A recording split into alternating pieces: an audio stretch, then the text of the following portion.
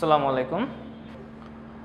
আমরা আজকে এসএসসি কেমিস্ট্রির বিশেষ করে অধ্যায় সাতের শেষ একটা অংশ যেটা লাস্ট সাতের নীতি বলে পরিচিত, আমরা সেই নীতিটি আজকে আমরা বিবৃতি করব এবং ব্যাখ্যা করব যে একটা উপমুখী বিক্রিয়ার সাম্যাবস্থায় কীভাবে এই লাস্ট সাতের নীতিটা প্রভাব বিস্তার করে বা প্রভাব ফেলে। কারণ আমাদের যদি আমরা কোশ্চেনগুলো দেখি, তাহলে এমনটা দেখা যায় যে যে কোনো একটা তাপ উৎপাদী বা তাপহারী বিক্রিয়া দিয়ে বলতেছে যে এই বিক্রিয়ার সাম্যাবস্থায় তাপের প্রভাবটা ব্যাখ্যা করো। তো আসলে এই যে তাপের প্রভাব বা চাপের প্রভাব বা ঘনমাত্রার প্রভাব যেটি হোক না কেন সেটি কিন্তু আসলে লাশাতের নীতি কীভাবে কাজ করে তার উপর বেস করে কিন্তু আমাকে ব্যাখ্যা করতে হবে। তো হোয়াট ইজ লাশাতিলের প্রিন্সিপাল। লাশাতের নীতিতে বলা হচ্ছে যে কোনো উপমুখী বিক্রিয়া পয়েন্ট করা হোক, যে কোনো উপমুখী বিক্রিয়া সাম্যাবস্থায় থাকাকালে যদি ওই অবস্থার একটি নিয়ামক বা ফ্যাক্টর যেমন তাপমাত্রা, চাপ বা ঘনমাত্রার পরিবর্তন করা হয়, তবে সাম্যের অবস্থান ডানে বা বামে এমনভাবে পরিবর্তন হবে যেন নিয়ামক পরিবর্তনের ফলাফল প্রশমিত হয়ে যায়। অর্থাৎ একটা বিক্রিয়া যখন সাম্যাবস্থা উপনীত হয়, তখন যদি কোনো ফ্যাক্টর চেঞ্জ না করা হয়, তাহলে সেই বিক্রিয়াটা আজীবনই সাম্যাবস্থায় থেকে যাবে। কিন্তু যখন আমরা সেখানে কোনো একটা ফ্যাক্টর বা নিয়ামক যেমন তাপমাত্রা, চাপ এবং ঘনমাত্রার পরিবর্তন করব, তখন সাম্যের অবস্থানটা এমনভাবে ডানে অথবা বামে শিফট হবে যাতে ওই নিয়ামক পরিবর্তনের ফলাফলটা প্রশমিত হয়ে যায়। তো এই ব্যাপারটা আমরা যদি স্পেসিফিক্যালি তাপমাত্রার প্রভাব, চাপের প্রভাব এবং ঘনমাত্রার প্রভাব দিয়ে ব্যাখ্যা করি, তাহলে বিষয়টা আমাদের বুঝতে সুবিধা হবে।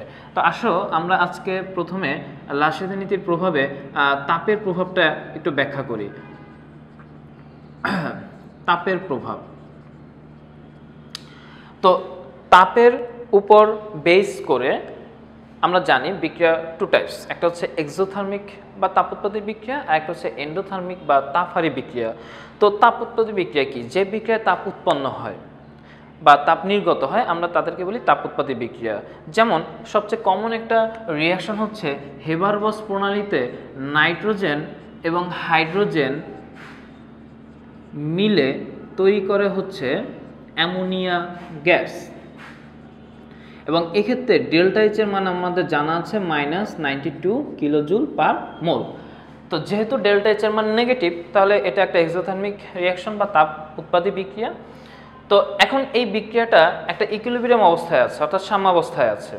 এখন আমি যদি এখানে তাপমাত্রা বৃদ্ধি করি বা তাপমাত্রা হ্রাস করি, তাহলে সাম- সাম্যাবস্থা কোন দিকে সরে যাবে? অর্থাৎ কোন দিকে শিফট হওয়ার মাধ্যমে বিক্রিয়া তার সাম্যাবস্থাকে আবার পুনঃপ্রতিষ্ঠিত করবে? অর্থাৎ আমি যদি এই বিক্রিয়ায় তাপমাত্রা বৃদ্ধি করি, আমি যদি এই বিক্রিয়ায় তাপমাত্রা বৃদ্ধি করি, তাহলে সিস্টেম কি করবে? অতিরিক্ত তাপ যেটা আমি দিচ্ছি, সেটাকে শোষণ করার প্রক্রিয়া বেছে নেবে। অর্থাৎ সে তাপহারী প্রক্রিয়া বেছে নেবে। সেটি কীরকম আমি যখন এখানে তাপ বৃদ্ধি করব, তখন বিক্রিয়াটা পশ্চাৎমুখী হবে। কেন? কারণ সে তাপহারী প্রক্রিয়া বেছে নেবে। অর্থাৎ বিক্রিয়াটা পশ্চাৎমুখী হয়ে বাম দিকে সরে আসার মাধ্যমে আমার অতিরিক্ত যে তাপটা আমি দিচ্ছি, সেই তাপটাকে সে শোষণ করার মাধ্যমে প্রশমিত করে ফেলতেছে। তার মানে আমি যদি একটা তাপোত্তী বিক্রিয়ার তাপমাত্রা বৃদ্ধি করি, বিক্রিয়াটা কোন দিকে যাচ্ছে? বিক্রিয়াটা পশ্চাৎমুখী হয়ে যাচ্ছে বা বাম দিকে সরে আসতেছে। এই বাম দিকে সরে আসার মাধ্যমেও আমি যে তাপমাত্রা ইনক্রিজ করতেছিলাম, সে অতিরিক্ত তাপটাকে সে শোষণ করে নিচ্ছে বা প্রশমিত করে ফেলতেছে। তো এখন যেহেতু তাপমাত্রা বৃদ্ধি করলে বিক্রিয়াটা পেছনের দিকে অগ্রসর হয় দ্যাট মিন্স আমার উৎপাদন কমে যাবে। সবসময় মনে রাখতে হবে যে একটা বিক্রিয়া যখন বাম থেকে ডানে যায়, উৎপাদন বৃদ্ধি পায়। যখন একটা বিক্রিয়া ডান দিক থেকে বাম দিকে আসে, তখন উৎপাদন কিন্তু হ্রাস পায়। তো যেহেতু তাপমাত্রা বৃদ্ধি করলে এই বিক্রিয়াটা পেছনের দিকে অগ্রসর হচ্ছে সো আমি বুঝতে পারলাম যে আমার এখানে উৎপাদন কমে যাচ্ছে। কিন্তু শিল্পক্ষেত্রে আমি কি চাই? উৎপাদন বেশি চাই? তো উৎপাদন যদি বেশি করতে হয়, তাহলে এখন আমি কি করব? তাপমাত্রা হ্রাস করব। হ্যাঁ তাপমাত্রা বৃদ্ধি করলে যেহেতু বিক্রিয়াটা পেছনের দিকে অগ্রসর হচ্ছিল, তাহলে এখন তাপমাত্রা হ্রাস করলে বিক্রিয়াটা কোথায় যাবে? সামনের দিকে যাবে। ফলে আমার উৎপাদন কি হবে? বেশি হবে। কিন্তু তাপমাত্রা হ্রাস করলে আমরা এটাও জানি, বিক্রিয়াটা খুব স্লোলি হবে। এখন বিক্রিয়া যদি খুব স্লোলি হয়, এটা আমাদের জন্য অলাভজনক। So, আমাদের সময় নষ্ট হবে সময় কিল হবে। সো আমরা কি চাই? যে আমরা উৎপাদনও বেশি চাই এবং বিক্রিয়াটাও দ্রুত ঘটুক। তো এই জন্য কী করা হয়? একটা অত্যানুকূল টেম্পারেচার এবং প্রেশার সিলেক্ট করে নেওয়া হয় একটা রিয়াকশনের জন্য যে তাপমাত্রা এবং চাপে বিক্রিয়াটাও ফাস্ট থাকবে এবং আমি উৎপাদনটাও কি? বেশি পাবো। তো এই অ্যামোনিয়া গ্যাস প্রস্তুতিতে আমার শিল্পক্ষেত্রে যে অত্যানুকূল তাপমাত্রাটা ইউজ করা হয় সেটি হচ্ছে সাড়ে চারশো থেকে সাড়ে চারশো থেকে সাড়ে পাঁচশো ডিগ্রি সেলসিয়াস তাপমাত্রা আমার এখানে ইউজ করা হয় অত্যানুকূল তাপমাত্রা হিসেবে। তাহলে একটা তাপ তাপোৎপাদী বিক্রিয়া যদি আমরা তাপমাত্রা বৃদ্ধি করি সিস্টেম কি করতেছে? সেই অতিরিক্ত তাপটাকে শোষণ করার প্রক্রিয়া বেছে নিচ্ছে, অর্থাৎ তাপহারি প্রক্রিয়া বেছে নিচ্ছে, অর্থাৎ বিক্রিয়াটা ডান দিক থেকে তখন বাম দিকে শিফট হচ্ছে। আবার আমি যদি তাপমাত্রা হ্রাস করি, তাহলে বিক্রিয়াটা উল্টা হবে, অর্থাৎ বিক্রিয়াটা বাম দিক থেকে ডান দিকে যাবে, তাতে আমি উৎপাদন বেশি পাবো। কিন্তু তাপমাত্রা হ্রাস করলে বিক্রিয়ার মানে গতিটা কমে যাবে স্লো হয়ে যাবে। তো সেক্ষেত্রে আমরা একটা অপটিমাম টেম্পারেচার বা তাপমাত্রা বেছে নিই, যাতে আমার বিক্রিয়ায় উৎপাদনটা বেশি আসে। তো আমি যদি তাপ উৎপাদী বিক্রিয়াটা বুঝে থাকি, তাহলে তাপহারি বিক্রিয়ায় কি হবে? সম্পূর্ণ উল্টা হবে। আমার তাপোৎপাদী বিক্রিয়া কি ছিল? তাপমাত্রা বৃদ্ধি করলে বিক্রিয়াটা পেছনের দিকে অগ্রসর হচ্ছিল বাট আমার তাপহারি বিক্রিয়ায় তাপমাত্রা বৃদ্ধি করলে বিক্রিয়াটা সামনের দিকে যাবে।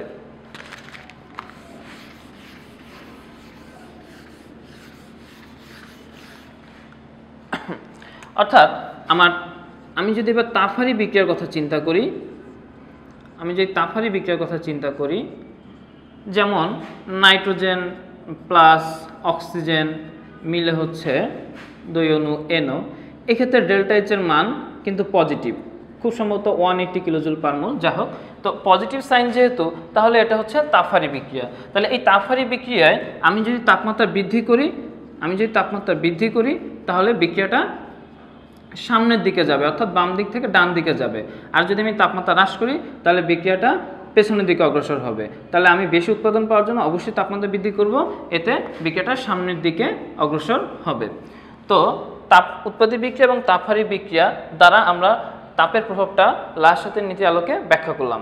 এবার আমরা একটু চাপের প্রভাবটা যদি চিন্তা করি, আমরা যদি একটু চাপের প্রভাবটা দেখি সবসময় মাথা রাখতে হবে, চাপের প্রভাবটা কাজ করবে কখন?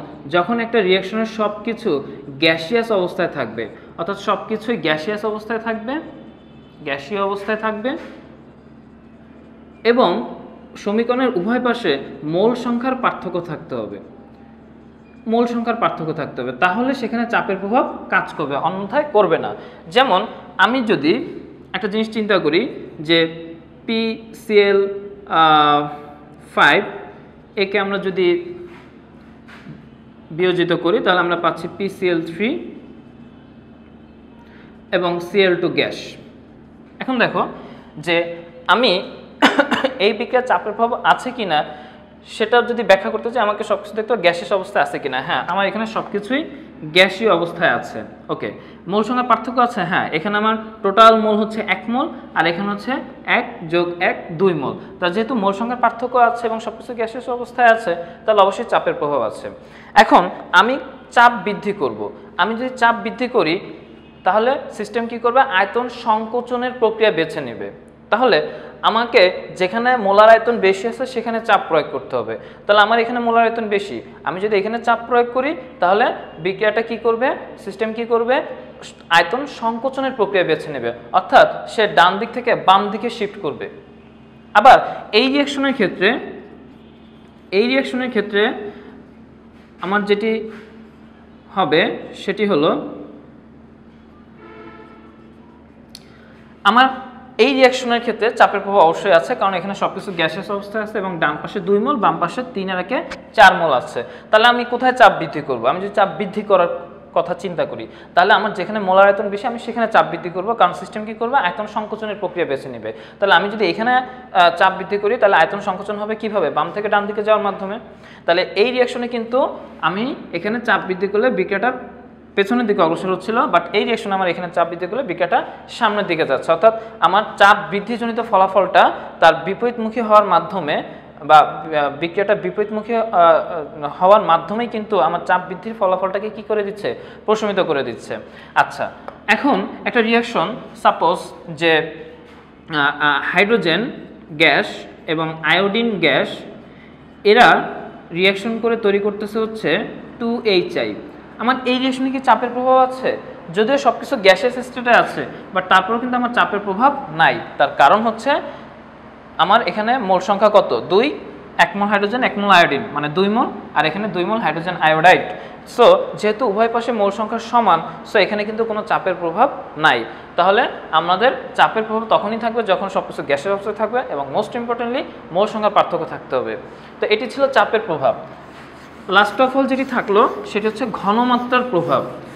আমরা অনেকে ঘনমাত্রার প্রভাবটা খুব একটা ক্লিয়ারলি বুঝি না, কিন্তু খুব সহজেই বোঝা যায় ঘনমাত্রার প্রভাবটা। যদি আমি একটা ইকুয়েশন লিখি যে পিসিএল ফাইভ অবশ্যই গ্যাস হচ্ছে পিসিএল থ্রি যোগ সিএল টু এখন ঘনমাত্রার প্রভাব মানে কি? আমি সিস্টেম থেকে হয় বিক্রয়ক একটু যোগ করব, না হয় বিক্রয়ক আমি সরাই ফেলব। অথবা উৎপাদ আমার যা আছে তার মধ্যে আরেকটু উৎপাদের ঘনমাত্রা বাড়াবো, না হয় উৎপাদের ঘনমাত্রা কমাবো। তো এই সব কিছু ডিপেন্ড করে একটা সাম্য ধ্রুবক বা সাম্যাঙ্কের উপর। এখন তোমার মনে প্রশ্ন জাগতে পারে যে ভাই, সাম্যাঙ্ক কি? সাম্যাঙ্ক হচ্ছে উৎপাদের ঘনমাত্রা এবং বিক্রয় ঘনমাত্রা একটা অনুপাত এবং একটা নির্দিষ্ট তাপমাত্রায় এই সাম্যাঙ্ক বা কেসির মানটা স্থির থাকে। তো আমরা যে কোনো কিছু ঘনমাত্রাকে থার্ড ব্র্যাকেটে লিখতে হয় কেমিস্ট্রিতে তাহলে আমি থার্ড ব্র্যাকেটে উৎপাদের ঘনমাত্রা লিখলাম ডিভাইডেড বাই থার্ড ব্র্যাকেটে আমি বিক্রয়কের ঘনমাত্রা লিখলাম। তাহলে এই যে উৎপাদের ঘনমাত্রা এবং বিক্রয় ঘনমাত্রার যে অনুপাত, সেটাকে আমরা বলতেছি সাম্যাঙ্ক বা কেসি বা সাম্যধ্রুবক। এবং আমরা এটাও বলেছি, একটা স্থির তাপমাত্রায় এই কেসির মান কি থাকবে? স্থির থাকবে, অপরিবর্তিত থাকবে। এখন ধরো, আমি এখানে একটু পিসিএল ফাইভ বাড়িয়ে দিলাম পিসিএল ঘনমাত্রা বাড়িয়ে দিলাম। যদি আমি পিসিএল ফাইভের ঘনমাত্রা বাড়িয়ে দেই, তাহলে কিন্তু আমার কেসির মান কমে যাবে। কিন্তু না কেসির মান আমার ঠিক থাকবে। তাহলে কেসির মান ঠিক রাখার জন্য বিক্রিয়াটা ডান দিকে শিফট হবে। অর্থাৎ উৎপাদের পরিমাণ বেড়ে যাবে। আবার আমি যদি উল্টাটা চিন্তা করি, আমি যদি এখানে কিছু এখান থেকে পিসিএল ফাইভ সরিয়ে ফেলি আপওয়ার্ড সাইন যদি সরিয়ে ফেলি, তাহলে কেসির মান বেড়ে যাবে। কিন্তু না কেসি কি থাকবে? অপরিত থাকবে, স্থির থাকবে। তো তখন কি হবে বিক্রিয়াটা? বিক্রিয়াটা কিন্তু তখন পেছনের দিকে শিফট করবে। তাহলে এই বিক্রিয়া যদি আমি বিক্রিয়কের ঘনমাত্রা বাড়াই, তাহলে বিক্রিয়াটা সামনের দিকে যাচ্ছে। আর যদি আমি বিক্রিয়কের ঘনমাত্রা কমাই, তাহলে বিক্রিয়াটা পেছনের দিকে অগ্রসর হয়ে আসার মাধ্যমে আমার ঘনমাত্রার যে একটা প্রভাব, সেটা কিন্তু আসলে প্রশমিত হয়ে যাচ্ছে। তাহলে আমরা যদি উল্টাভাবে এখানে চিন্তা করি আমরা ইজিলি দেখতে পাবো যে বিক্রিয়াটা আসলে কোন দিক থেকে কোন দিকে শিফট করবে। তো আমার মনে হয় যে লাশেতের নীতির যে প্রভাব, একটা রিয়াকশনে তাপমাত্রার প্রভাব, চাপের প্রভাব, ঘনমাত্রার প্রভাব এখন তোমাদের কাছে ক্লিয়ার হয়েছে। তো কেমিস্ট্রি সাবজেক্টটা এমন যে এটা কিন্তু আসলে আমরা ঠিক মুখস্থ করে কিন্তু পরীক্ষা খাতে লিখতে পারব না। আমাকে যদি সিস্টেমটা বুঝে দেওয়া রাখা হয়, তাহলে আমি কোশ্চেন যেভাবেই হোক না কেন, আমি কিন্তু অ্যান্সার করতে পারব। তো আসলে বেসিক্যালি খুলনা শহরে অনেক কেমিস্ট্রির ব্যাচ বা কোচিং আছে বাট আমি আমার অভিজ্ঞতা আলোকে দেখেছি যে আসলে একজন টিচার সে যদি একটা ক্লাসে যদি পঞ্চাশ বা সিক্সটি আপ স্টুডেন্ট নিয়ে পড়ায়, তাহলে তো অ্যাকচুয়ালি স্টুডেন্টগুলো বুঝে উঠতে পারে না। তো এই জন্য আমার, আমি সবসময় চেষ্টা করি আমার ব্যাচে আমি সর্বোচ্চ বিশজন নিয়ে ক্লাস করার, যাতে আমার টার্গেট থাকে যে আমার প্রত্যেকটা টপিক যেন প্রত্যেকটি স্টুডেন্ট প্রতিদিন বোঝা যায় এবং আমি চেষ্টা করি আমার ক্লাসের পড়া যেন ক্লাসেই হয়ে যায়। বাসায় যে যেন তার একবার দেখলেই জিনিসগুলো আত্মস্থ হয়ে যায়। তো এই জন্য হাতে কলমে কিন্তু আমি স্টুডেন্টদের বোর্ডে প্র্যাকটিস করাই এবং প্রয়োজনীয় শিট আমার খুলনাতে ব্যাচটা দীর্ঘদিনের। তো আমি যেটা করেছি, আমার এসএসসি এবং এইচএসসির কেমিস্ট্রির উপরে আমি প্রত্যেকটা চ্যাপ্টার উপরে কিন্তু লেকচার শিট তৈরি করেছি অক্সিজেন নামে একটা লেকচার শিট পাওয়া যায়। তো আসলে ওই শিটটা তোমার পরীক্ষার আগের রাতে একটা বিশ্বস্ত বন্ধু হিসেবে কাজ করবে যে আমি কোন গাইড পড়ব বা কোন বই পড়ব। দ্যাট ইজ নট নেসেসারি তুমি এই শিটটা পড়ো, এ টু জেড সব কিছু তুমি সেখানে পেয়ে যাবা এবং পাশাপাশি জাস্ট টেক্সট বুকটা পড়ে যাও বোর্ডের বইটা পড়ে যাও, তাহলে পরীক্ষায় তোমার সব কিছু কাভার করবে। তো যাই হোক এরকম যে টপিকগুলোতে তোমাদের সমস্যা বা তোমরা যে টপিকগুলো বোঝো না, সেগুলো এখানে কমেন্ট বক্সে তোমরা কমেন্ট করতে পারো।